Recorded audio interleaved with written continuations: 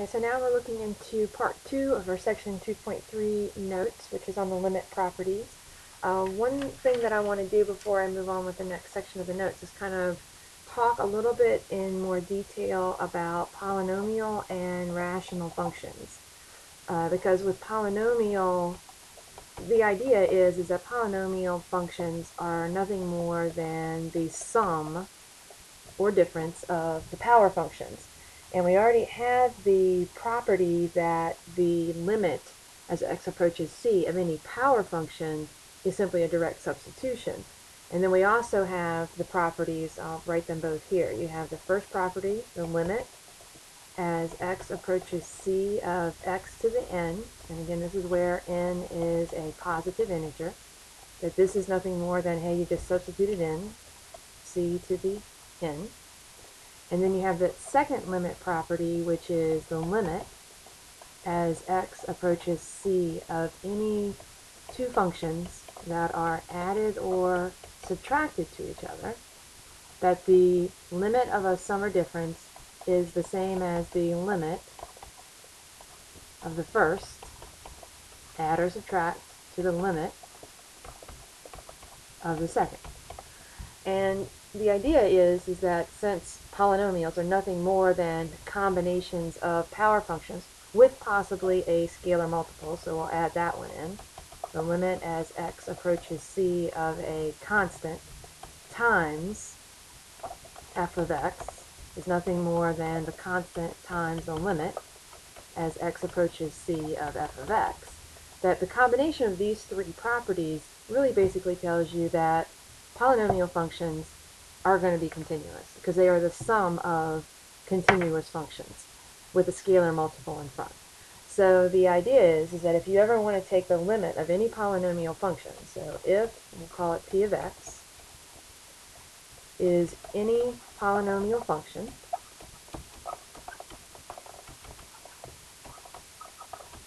and we wish to find the limit, so we want to do the limit as x approaches c of this polynomial function is basically a shortcut because it's nothing more than constants. Well, first off, it's nothing more than the sum or difference of power functions, so you can split them all up. And since they're power functions with a constant in front, you can pull the constant out, and then because it's a power function, you can plug in the value and calculate it. You can simply just calculate this directly by doing P of C. So that's the easiest way that you're taking a look at this, is that hey, no big deal, polynomial functions are continuous, we can use direct substitution on them. Uh, the second type of function, special function we want to talk about now that we've done our properties, we have our rational functions. And remind yourself, rational functions are typically, we'll call them, say, r of x, is the division of two polynomial functions. I'll use p of x and q of x, only with the caveat, of course, q of x cannot equal 0. Okay, can't cause you to have division by 0 problems. Now, since this is a quotient, we're going to basically be using the property now that the limit, jot that down here, the limit as x approaches c of a division or a quotient, p of x over q of x, is nothing more than the limit as x approaches c of p of x, the top, divided by the limit as x approaches c of q of x, provided the limit as x approaches c of q of x does not equal 0. So a rational function, as long as you don't have division by 0 for the bottom limit, it's really continuous everywhere else. Rational functions only have discontinuities where you have division by 0 or domain restrictions. Now you have two types of discontinuities. They can either be a point discontinuity or an infinite discontinuity, but those are the only places where you would have any problems and have that division by zero. So as long as C is not a domain restriction for the rational function, then you can pretty much calculate the limit by doing direct substitution. So we'll say if, and I use r of x for this, so if r of x is a rational function,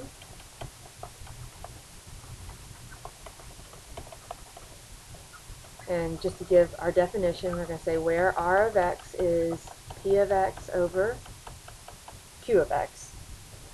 of course with the caveat q of x cannot equal 0. And if c is a real number such that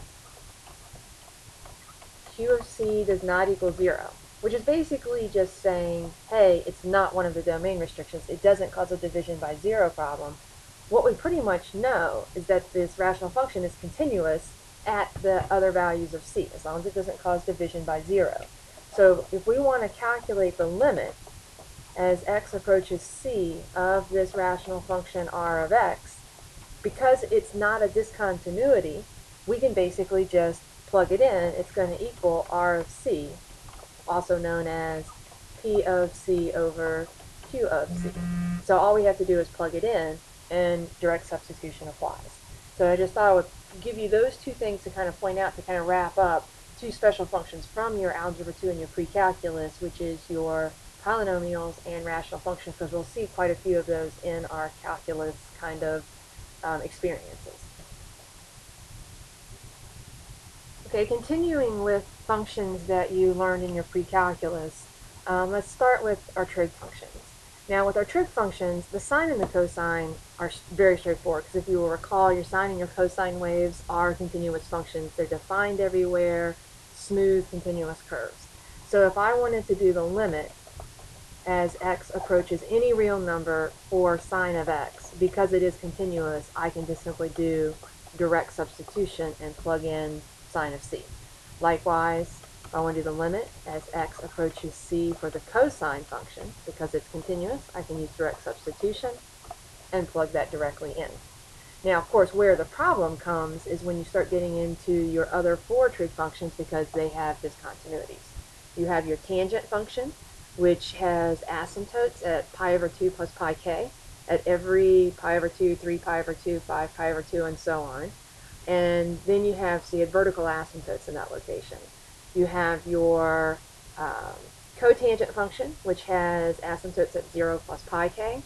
And then your cosecant and your secant functions, your cosecant, because it's dividing by sine, um, has its asymptotes at 0 plus pi k, and your secant, which has asymptotes at pi over 2 plus pi k. And they're vertical asymptotes. Now, if we disregard the locations of the vertical asymptotes, the sections of the graph that fall in between all of those points are actually continuous. So this is very similar to what we did for the rational functions. Up here we said that, hey, as long as C is not where the discontinuity is, it's continuous at the rest of the stuff and we can just plug it in.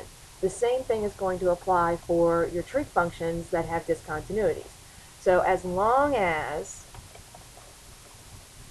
C is in the domain of the trig function, you can use direct substitution. So as long as it's a tangent or a secant, and it's not equal to pi over 2 plus pi k, you can simply just plug it in and calculate your limit. Uh, so we'll go ahead, we'll just write them down just to be thorough in our notes. The limit as x approaches c of tangent of x is going to be tangent of c as long as c is not pi over 2, 3, pi over 2, 5, pi over 2, negative pi over 2, and so on. Likewise, the limit as x approaches c for the secant of x, which has the same domain restriction because tangent is sine over cosine, secant is 1 over cosine. As long as you're not pi over 2, 3 pi over 2, 5 pi over 2, you can simply plug it in. And then we'll finish our other two trig functions. If you take the limit of the cotangent of x, which is dividing sine, uh, cosine over sine, sine is 0 at 0 and pi and 2 pi and so on, some multiple of pi. As long as c is not one of those values, then you can just plug it in, find the cotangent of c, and then our last one, let's see if I can just squeeze it in here, the limit as x approaches c of the cosecant of x is, I'll curve it up here, cosecant of c. So the moral is, as long as it's not the domain restriction, then you simply plug it in. Now, if it's the domain restriction in, in all of these, the limit, of course, would not exist because you have an infinite discontinuity there, and it's going to plus or minus infinity on the left and on the right, and that's one of the things that we said was a reason for the limit to not exist. Um, however, it does exist for all values, all real numbers up here for sine and cosine because they're continuous everywhere. Okay, so now we're going to come down here and we're going to take a look at uh, some more fancy things that have to do with trig. Uh, so now we've got the basic ones down. Uh, there's kind of a couple of things that we're going to have to do. We're either going to have to get used to using our calculator because it starts to get very difficult very quickly with the trig functions. Or we just have to basically memorize a couple of trig limits that are very special. Okay, so first thing we're going to do, since we've already done the calculator and we've worked with finding limits um, numerically by looking at the table and looking at the graph, what I want you to do right now is, using your calculator, I want you to graph sine of x over x, look at the graph, determine what you think is happening with the limit as x approaches 0, then look at your table, test it out, see what you think, and come up with what you believe the limit is based on the numeric representation and the graphical representation. And then come over here and do the same thing for 1 minus cosine of x over x. And then we'll come back together and we'll talk. So I'll pause it and give you a moment to work on those two problems using your calculator, and then we will discuss. Okay, now let's talk about some extensions of these limits that you just found, alright? So let's process kind of what you found on your calculator. So if you come back and take a look at it, here's a picture of what your graph, sine of x over x, looks like. Comes across, it has a hole there. If I hit trace, I get undefined. But if I take a look at my table, I went ahead and did two for you. One where I went by 0.1, so you could examine what was happening. And then you can see here when I zoomed in, so my delta table was 0.001, that I'm getting very, very close to 1. So it's pretty obvious, hopefully, that when you look at your calculator, the limit of, as x approaches 0, of sine of x over x is 0. Or is 1, I'm sorry. Now when we look over here at the 1 minus cosine of x over x, in that one, here's your picture that you're looking at. Again, if I were to hit trace, it has a discontinuity at x equal to 0, and it is a point discontinuity. When we take a look at the table, and I just did the uh, 0.001 as my delta x when I did set up my table, and take a look at it, and you can see your numbers are getting smaller and smaller and smaller with your scientific notation here, and you can see that they're approaching zero. You could zoom in a couple of times, but hopefully you found those pretty straightforward. Now, what this does is you are essentially going to need to memorize this. You just need to put it in your tool pack of things that you need to kind of just know because you're going to be able to have to use these and you'll see in the next page what I'm talking about. But these are two of what we call the special limits that you might as well just memorize. Uh, we'll show you a couple of different ways of actually proving them but for most of what you're going to do, you're going to see them in a multiple choice question. And in the multiple choice question, you just have to remember that the sine of x over x, as x goes to 0, its limit is going to be 1. Okay? And be careful, though, because we'll see some where if the limit is as x goes to pi, you don't even have to worry about it because it would be defined everywhere except 0, goes back into the rational function. As long as it's not the discontinuity, then you can just do direct substitution. So if this had been pi, you would have simply just substituted sine of pi over pi and calculate what it is. But for the special case where the discontinuity occurs, where the point discontinuity occurs, you would just memorize these two values. Now, where are we going to use these? Let's take a look at the next section. Now, notice there's a couple of things here. What they have said that in general, they have a conditional statement here. So the first thing is let's look at if the g of 0 equals 0. Okay, if I were to plug the value in and get zero, so in other words, saying, hey, that's where the discontinuity is. And if wherever you're approaching causes the denominator to go to zero, there's going to be a point discontinuity anytime you have this form or this form for your function. And you don't even have to worry about calculating, splitting it up, doing the composition that we did with the property on the earlier notes. All you have to remember is that the limit of this form is 1 and the limit of this form is 0. And it does have to do with how the behavior of the graph when you have x equal to 0, if you have a horizontal dilation or something where you're stretching or shrinking in, in some sort, it doesn't really change what's happening at 0 itself. It's only changing what's happening uh, other places. So you pretty much just have this idea that, hey, easy peasy, remember which one it is. So the first one that you're looking at, like right here, when you are looking at this, when I plug in 0 into this denominator, this is kind of like your g of x right here. If I calculate g of 0, it would be 5 times 0, which is 0. So I meet the requirement that I am of the correct form. Here's my g of x, sine of g of x over g of x. And the x is approaching 0 causes g of x to go to 0. g of 0 equals 0.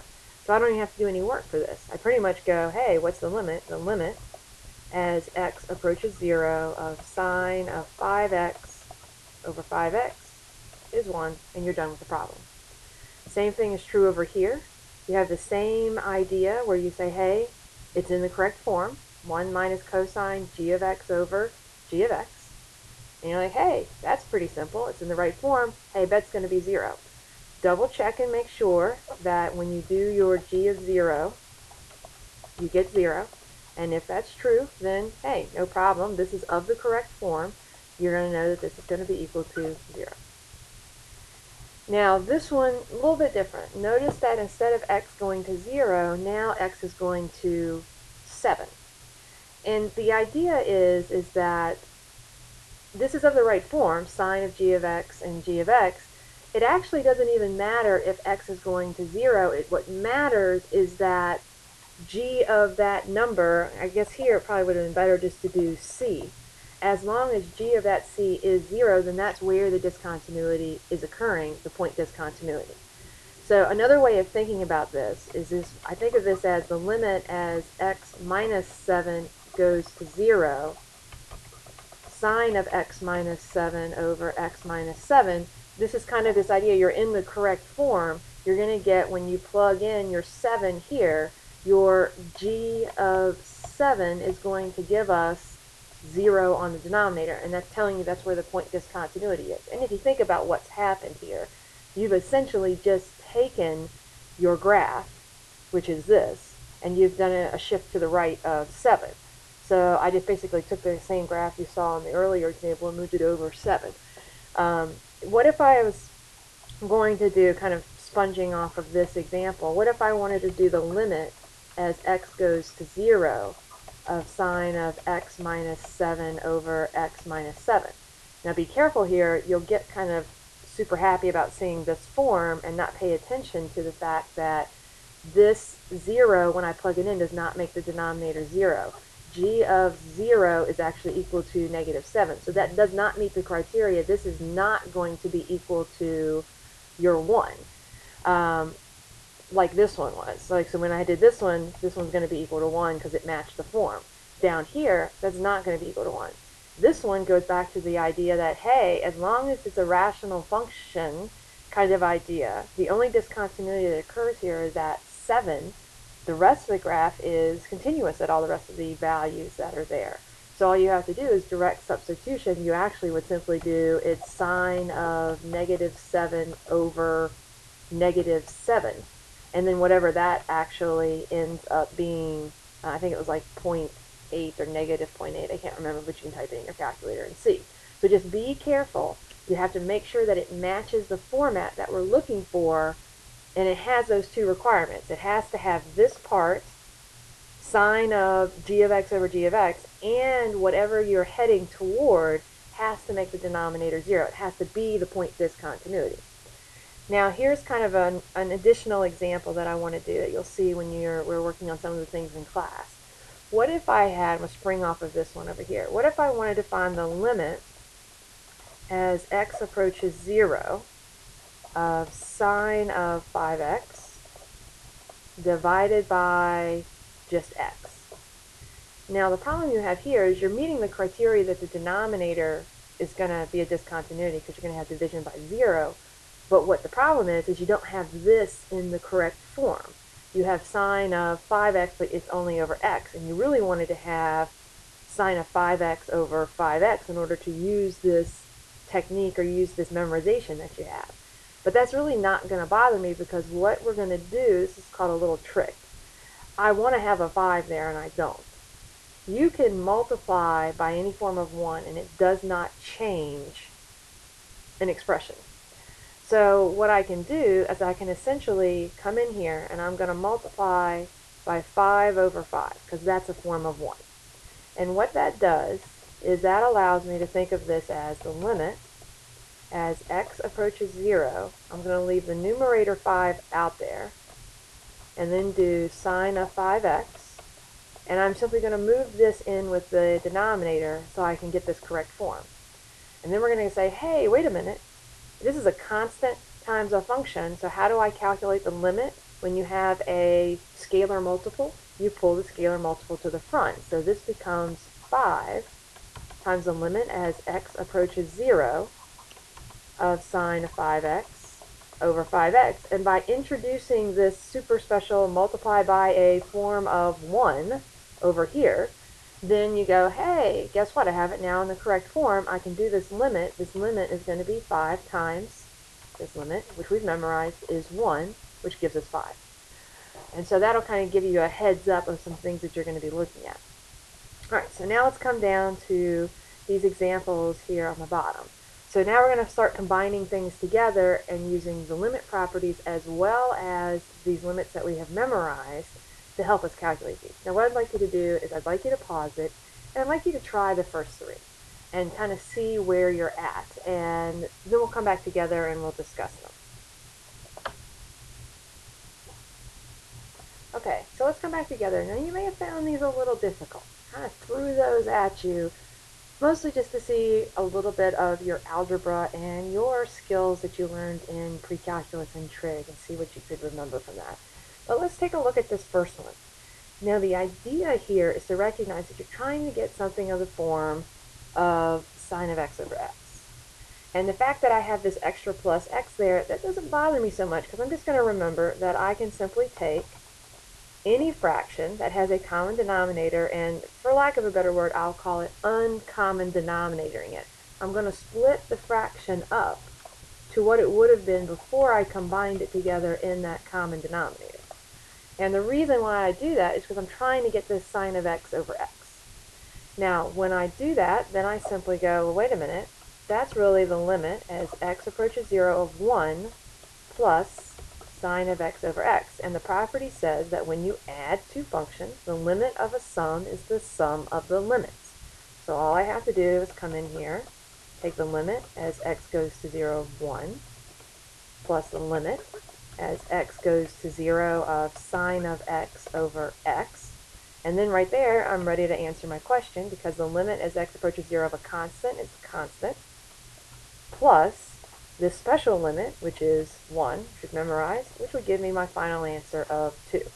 So the idea is, is that, hey, you might need to do a little bit of algebra. That's why we have to review our algebra skills in order for us to kind of work with these. Now this second one, a little bit of trick to this one, is was to use a trig identity, and there's some algebra involved what I first remember or recall is that tangent is equivalent to sine of cosine or sine of x over cosine of x. So I'm going to make a substitution. So this is very similar to back in pre-calculus when you were doing your trig identities and your substitutions. So I make that substitution. Okay, and, I, and I'm going to remember a little algebra. Dividing by a fraction is the same as multiplying by its reciprocal. So this is the same as I'm basically going to flip the cosine up to the top. It's going to be x over sine of x times cosine x. Now, this is really close to the uh, property that I want to have, uh, except it's the reciprocal of it. So just to kind of get it in the right format, I'm going to rewrite this as 1 over, okay, our sine of x over x because what I have here is a reciprocal of the form that I was looking for. And of course times this cosine of x. Now it does not bother me that I have all of this going on now because this is the quotient and the product of functions. And according to our limit properties, I can take the limit of the top, the limit of the bottom, as long as it's not 0, which it's not because that special limit is 1, and multiply it times the limit of the cosine. And so we end up with the limit as x approaches 0 of 1 divided by your limit as x approaches 0 sine of x over x times the limit as x approaches 0 of cosine of x. Okay, and then you start getting upset because this cosine here bothers you, but remember, cosine's continuous, and you can always find the limit by using direct substitution. So over here, the limit of a constant is the constant. The limit of the special sine x over x as x goes to 0, 1. And the limit here, I'm going to use my direct substitution. That's cosine of 0. And if you remember your trig unit circle, cosine of 0 is 1. So 1 times 1 gives us a final answer of 1. Okay. Now let's take a look at this part C over here. Do the same kind of idea. I'll change color just so it'll be a little different. I'm going to use a trig identity. Since what I know I have a form for is this cosine 1 minus cosine of x over x kind of idea. So what I'm going to do here is I'm going to say, well, what do we call secant? Trig identity is 1 over cosine. So I'm going to rewrite this. Limit theta goes to 0, 1 over cosine theta minus 1 theta times 1 over cosine theta. And I'm going to use a little algebra trick. I could get common denominators and do all that stuff, but that's really going to take a long time. I'm going to remind myself that, hey, I can multiply by a form of 1 and get this into a nicer form. I'm going to multiply by cosine theta over cosine theta. Remember to distribute here and here, and this is legal because I'm basically multiplying by 1. When I distribute that through, what I end up with is the limit as theta approaches 0 of 1 over cosine theta times cosine 1, 1 times cosine theta I get 1 minus cosine theta in the top. And on the bottom, this cosine theta times 1 over cosine theta, they're going to cancel, and I'm just left with theta, which is exactly the special limit that I had, so it's going to 0. So that kind of shows you a little bit of where our algebra skills, our skills using trig and trig identities are going to come in for us to do much more complicated limits algebraically that we're looking at. Okay, I'm going to pause it again. I'm going to give you a chance to work the three down here at the bottom and see what you can do with those. And then we'll come back together. Um, actually, please make sure that you are trying them because I know these are notes and we're kind of working our way through it. But I, I would like you to make sure that you take a moment and try to work the problem yourself, then come get a hint you can even pause mine in the middle of it. Like if you want to watch the first couple steps that I'm doing on mine and then see if you can finish it, then that would kind of give each of you kind of a individualized help to where you need it and then you can continue the problem. So but take a moment first and try to look at this before I work it. Alright, let's take a look at our nice complicated one that we have here. And, and I'm going to do the same kind of thing. I'm looking for certain forms that are there. Now, what you notice is it might bother you because you have this sine and a cosine in the 5x and the 2x. But what you have to remember is that you can split this all up because this is all multiplication and division. I can rewrite this as a limit as x goes to 0. I'm going to take the 4 and the cosine of 2x and group those together. And then I'm going to take the sine of 5x and put that with the x. The thing that's causing the division by 0 is the x. This cosine of 2x and this 4, kind of regrouping it in this fashion, I can take the limit as x approaches 0 of this part because that's not the discontinuity. The cosine of 0 is 1, so this ends up actually just being a direct substitution. This is where you have the discontinuity coming into play, but now I've got it to the point where I can split it and turn it into the special form. So we have the limit as x approaches 0 of 4 over cosine of 2x times the limit as x approaches 0 of sine of 5x over x.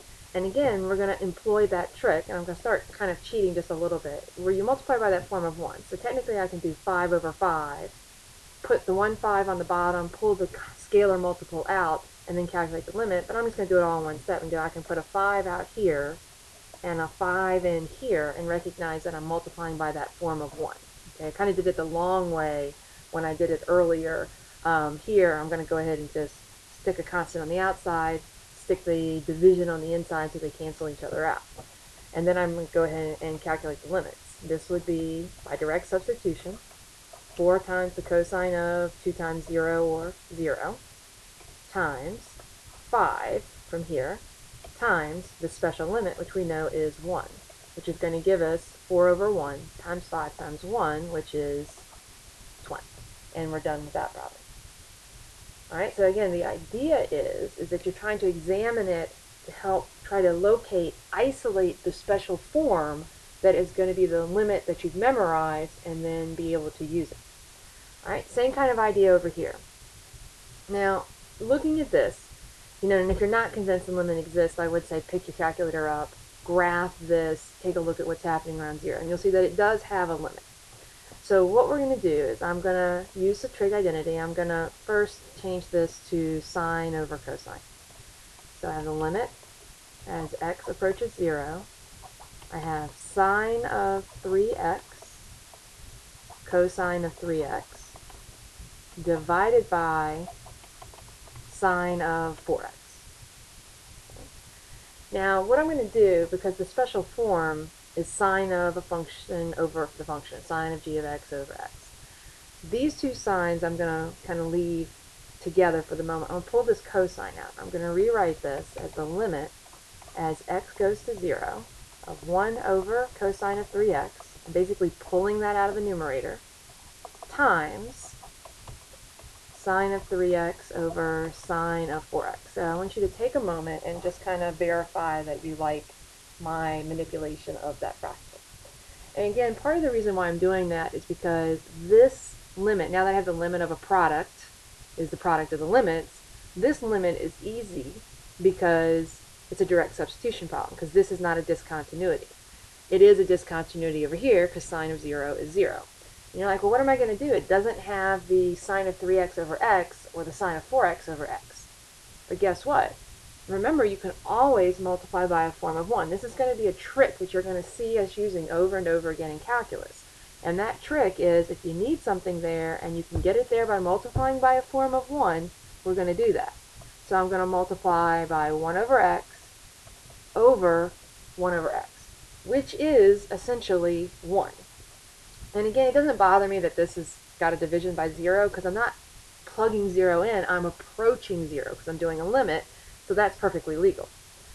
So we're going to end up with, and I'll just go ahead and keep writing things down until I actually take the limit at the end. So we have, as x goes to 0, this 1 over cosine of 3x. And then this now becomes sine of 3x over x. I'm going to multiply this times the top. And then on the bottom, I'm going to have sine of 4x over x. And what I have managed to do here is end up in the correct form here and here, and I have products and quotients.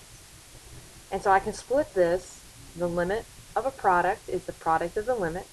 The limit of a quotient is the quotient of the limits as long as the denominator limit is not 0. So we go ahead and we split.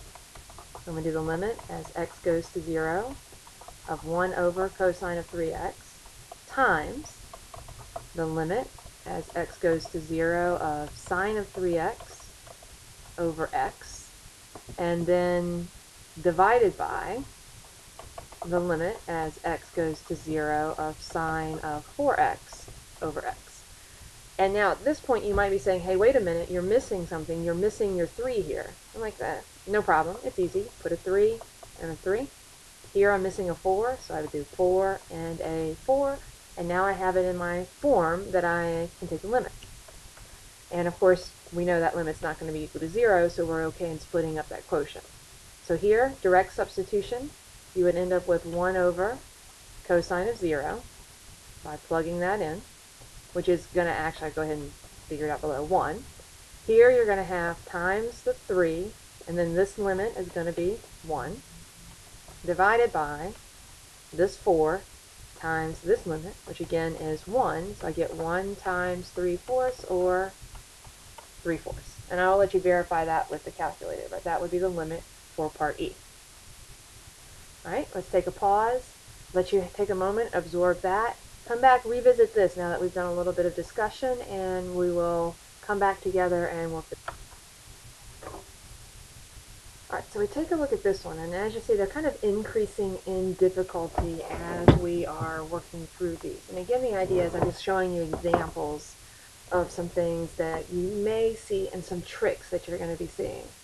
All right, now with this one, your first temptation is going to probably be to try to turn this into the 1 minus cosine x over x um, format that we have up here. Slide back up here to the top. Try to get it in this form. So initially, when you start trying to do that, you're like, okay, let's do the limit as x approaches 0. I need this to be 1 minus cosine, not cosine minus 1. We can achieve that very simply by factoring out a negative 1, which would make it negative plus here, or you can just switch it around and do 1 minus cosine of x. So I can pull that out. And then looking at it, you can go, all right, well then I can do 3x times. And initially, when I did this problem myself, I was grouping this together and then that would give me kind of the reciprocal of what I was looking for. But the problem with that is I'm still getting a zero over zero, a discontinuity. I can't remove it. It doesn't help me because the limit on the bottom is undefined. I'll go ahead and write it and then I'm just going to erase it just to kind of show you what I mean by that. So this can be rewritten as I'm going to absorb the negative up here with this negative 3x and do divided by 1 minus cosine of x over x. And you're like, hey, I'm going to do the limit of the quotient. But the problem is you can't do the limit of the quotient because the bottom limit happens to be 0. So I can't use that rule. So I come back to the drawing board. I'm going to erase this and say, now what do I do? And I go, wait a minute. Maybe if I could turn it into the sine one, then maybe it wouldn't be as difficult. And this is a trick that you did back in your trig identities, which is multiplying by a conjugate to try to get a Pythagorean identity. So I'm going to take this, I'm actually going to multiply both the top and the bottom by 1 plus cosine of x, and then 1 plus cosine of x. Because what that does is this part right here, when you multiply it out, is going to become 1 minus cosine squared x, which if you will remember is your Pythagorean identity, and that's sine squared x. So that's going to get me to the limit as x approaches 0. I'm going to absorb the negative up here, negative 3, x times x times 1 plus cosine x, divided by this 1 minus cosine squared, which is going to become sine squared x. Now, the reason why I did that is because now I can go the limit as x approaches 0, I'm going to split sine squared of x is really nothing more than sine of x times sine of x. So I'm going to rewrite this as negative 3 from here times x over one of the sine of x's times x over the other sine of x times 1 plus cosine of x. And what that allows is now I can do the limit of the product. And let's see, I think I can, you know why I went over here to the side when I was doing this previous example. Let's see if I can move these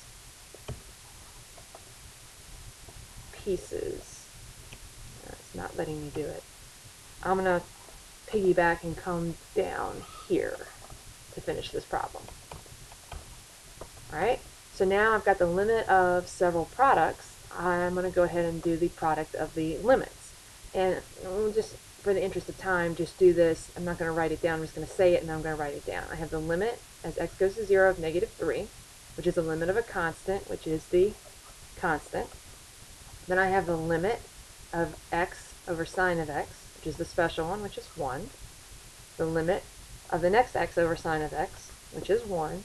And then I have the limit as x approaches 0 of 1 plus cosine of x. And again, this doesn't bother me because there's not a discontinuity. I can do direct substitution. Negative 3 times this plugging in 1 plus cosine of 0. And cosine of 0, of course, is 1. 1 plus 1 is 2. 2 times negative 3 gives me negative 6. All right, so this gives you kind of a good example of several types of problems that you'll see, as well as some examples of the types of algebra and trig substitutions and identities that you're going to have to be familiar with from your previous pre-calculus classes.